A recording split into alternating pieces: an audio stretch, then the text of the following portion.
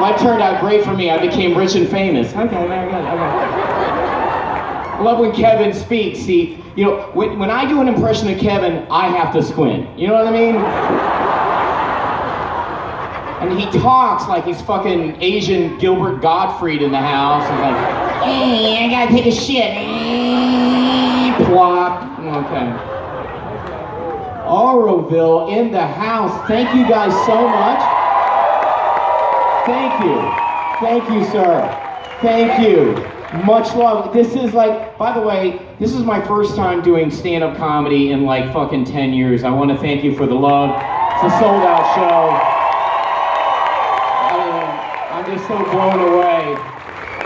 I'm so grateful that you